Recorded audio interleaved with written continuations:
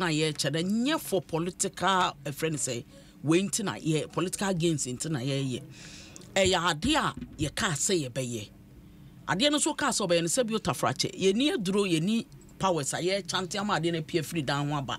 Ɛyɛ process. It will go into a process. Wobɛkra ama no aba ɛna aba abɛduro no a ɛberɛ no aduro no ni mind you yɛankyɛ ama nkwalaa no nko a ɛtikyafoɔ no nyinaa ɛnya bi.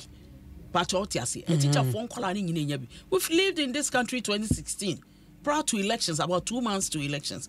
When a teacher for any nurse for esu ya allowance ma ya ketua ma yes wa kyerɛ deɛ mfie mmiɛnsa bosom mmiɛnsa na ɛbɛtua ma. Wo yɛwura john roma ne mama tae bosom mmiɛnsa na ɛbɛtua ma.